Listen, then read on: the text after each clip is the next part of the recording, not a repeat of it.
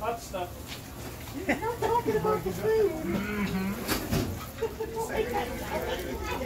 It's gonna be some big, big showtime tonight. All right. It's gonna be some big showtime. I got the uh, uh, Channel 2 here. See?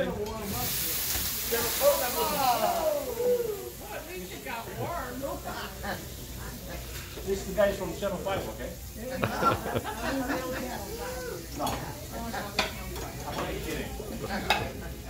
Oh, we're not gonna be on TV. I'm oh. gonna be my show.